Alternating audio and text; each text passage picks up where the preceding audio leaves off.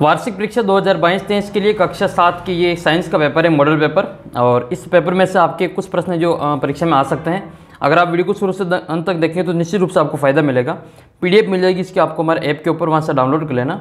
आइए इस पेपर को हम सोल्व करते हैं, एक मॉडल पेपर के रूप में।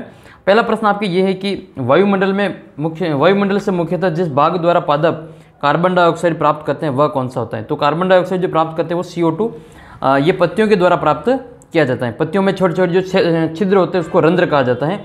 वहाँ से गैसों का आदान प्रदान होता है। दूसरा प्रश्न है, दूसरा प्रश्न है कि उष्ण कटिबंधीय वर्षा वन नहीं पाए जाते तो इसका उत्तर है ब्राज़ील। नेक्स्ट है, तीसरा प्रश्न है कि इनमें से किस स्थान पर चक्रवात आने की संभावना नहीं है?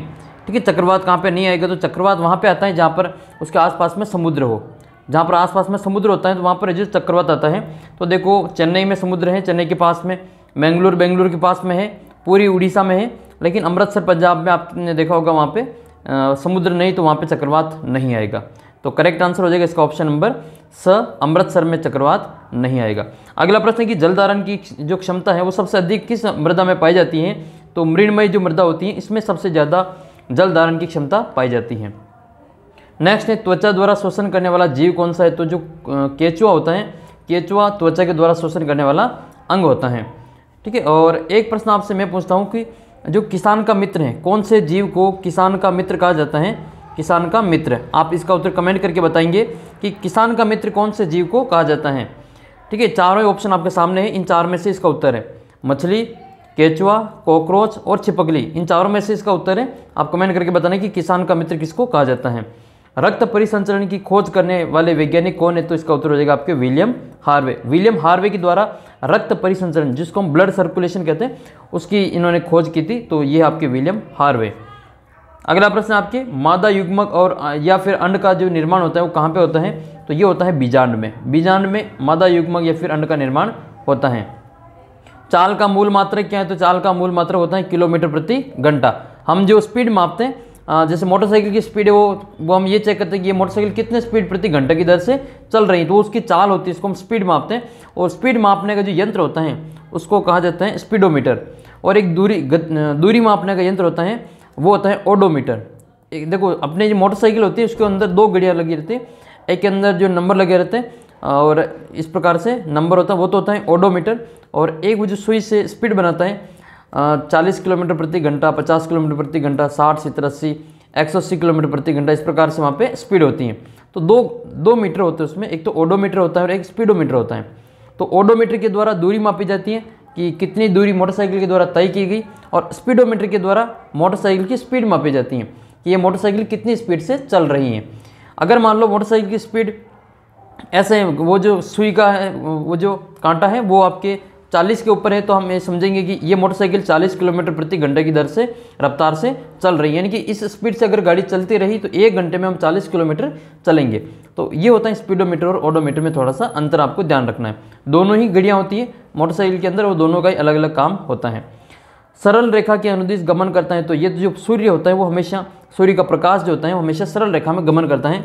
ये प्रयोग आपने देखा होगा, वो तीन गत्ते वाला, उसके अंदर छेद कर रखें और इधर एक मोमबत्ती लग रही है इधर एक मोमबत्ती लग रही है, और यहाँ तीनों के छेद अगर एक सीध में है तो यहाँ से कोई सा भी आँख से देखेगा इधर से, ठीक है, इधर से कोई सा भी देखेगा तो उसको जो आसानी से दिख जाएगा, लेकिन ये छेद अगर बीच में, यहाँ बीच में से नीचे हो जाएगा तो इस प्रकार से ये सीधी रेखा में नहीं होने के कारण यहाँ पे आपको मोमबत्ती दिखाई नहीं होगी। एक तो ये है, एक आपको वो नली वाला है, मान लो सीधी नली में देखेंगे तो आपको मोमबत्ती दिख जाएगी, और मान लो ये नली बीच में से मुड़ी हुई है इस प्रकार से, तब आपको मोमबत्ती आगे नहीं दिखेगी, क्योंकि सूर्य का जो प्रकाश होता है वो हमेशा सीधी रेखा में गमन करता है। अच्छा सूर्य के प्रकाश की जो चाल है वो कितनी होती है? तीन लाख किलोमीटर प्रति घंटा की चाल से वो सूर्य का प्रकाश चलता है।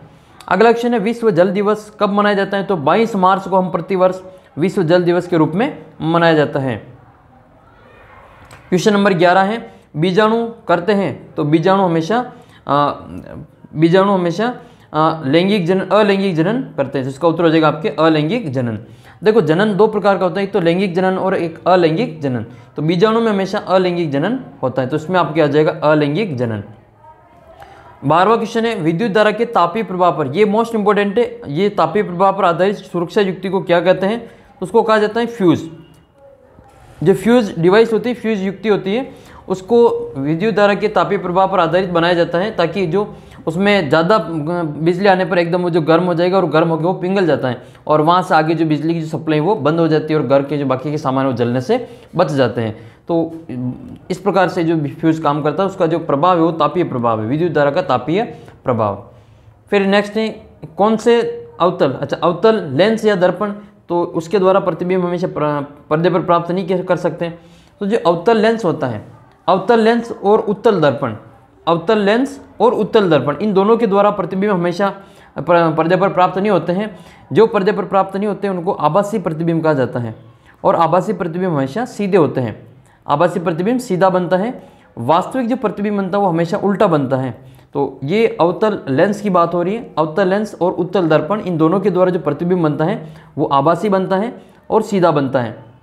जैसे आप जो अपने दर्पण में देखते हैं घर पे जो कांच लगा होता है मुँह देखने का वो वाला जो कांच होता है वो आभासी प्रतिबिंब बनाता है आपका ठीक है? और वो सीधा बनता है ठीक है? अगर आप देखेंगे उसके सामने तो सीधा बनने का मतलब ये कि आपका सिर उसमें भी ऊपर ही रहेगा और पैर आपके नीचे ही रहेंगे।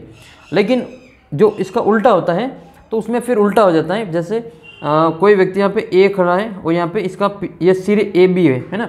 और उसको जब दर्पण में देखेंगे तो वो बी ए दिखेगा तो ये उल्टा इस प्रकार से होता है। अगर कांच में देख रहे हो और अपने पैर ऊपर है और अपना सिर नीचे तो वो अपना प्रतिबिंब उल्टा बनेगा। लेकिन हम कांच में देख रहे हो और अपना सिर ऊपर ही है। कांच में भी तो वो हमारा सीधा प्रतिबिंब बनता है और वो हमेशा आभासी होते हैं, उसको हम पर्दे पर प्राप्त नहीं कर सकते तो प्रतिबिंब भी दो प्रकार के होते हैं, आभासी प्रतिबिंब और वास्तविक प्रतिबिंब। जिनको पर्दे पर प्राप्त कर सकते हैं, वो हमारे वास्तविक होंगे, जिनको पर्दे पर प्राप्त नहीं कर सकते, वो आभासी होते हैं।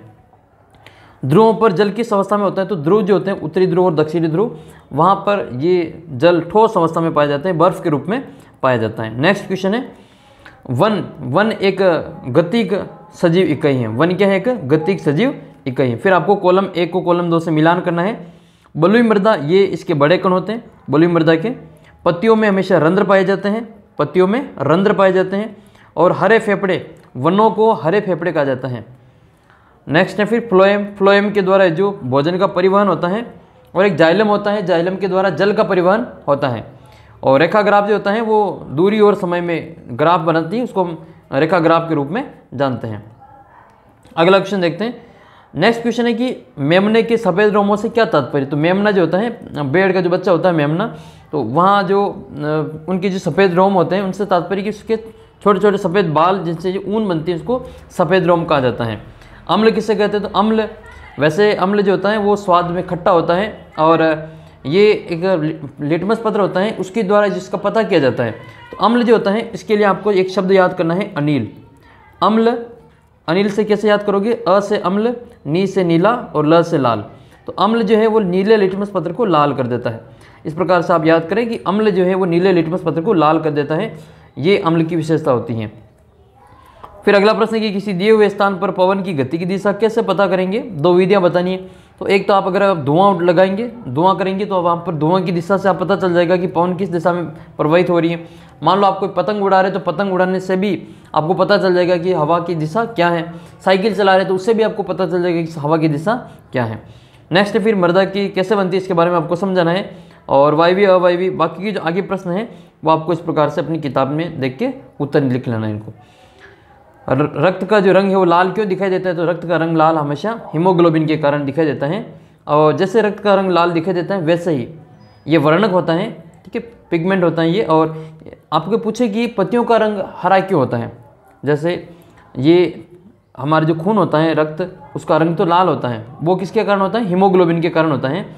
अब आपको कोई पूछ ले कि अपने जो आसपास के जो पेड़ पौधे हैं, इनकी पत्तियों का रंग हरा क्यों होता है? तो आपको पता हो तो कमेंट करके बताने कि पत्तियों का रंग हरा क्यों होता है?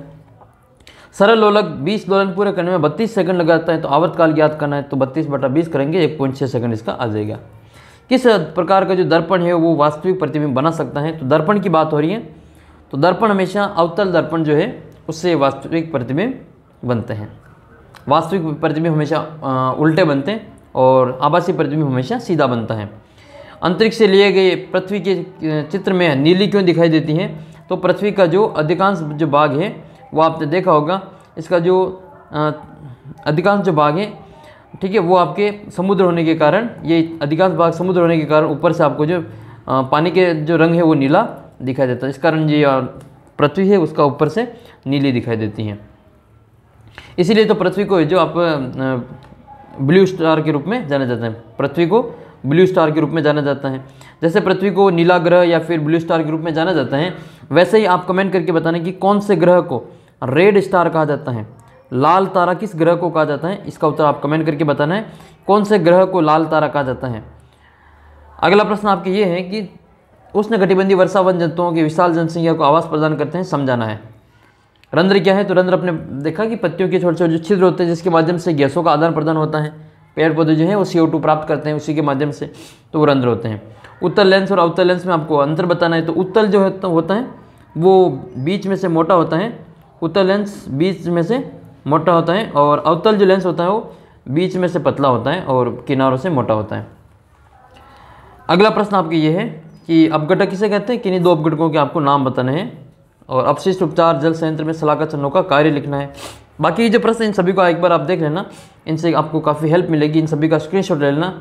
और ये पीडीएफ आपको ऐप के अंदर डाल देंगे। आप वहाँ से इसको डाउनलोड भी कर सकते हैं। सामाजिक का पेपर आपने देख लिया होगा। इस प्रकार के जो मॉडल पेपर है अलग अलग पेपर आपको यहाँ पे मिल प्राप्त हो रहे हैं तो इसका आप निश्चित रूप से फ़ायदा मिलेगा। और आपको कौन सी विषय का पेपर चाहिए कमेंट करके बता देना। एक मॉडल पेपर हम और आपके अपलोड कर देंगे। तो बाकी संस्कृत का उन सभी का पेपर मैंने अपलोड कर रखा है। आप इन पेपर को ज़रूर देखना, आपको काफ़ी फ़ायदा मिलेगा। मिलते हैं आपको अगले वीडियो में। तब तक आप ऐप को डाउनलोड कर लीजिए और इस चैनल को सब्सक्राइब कर लेना।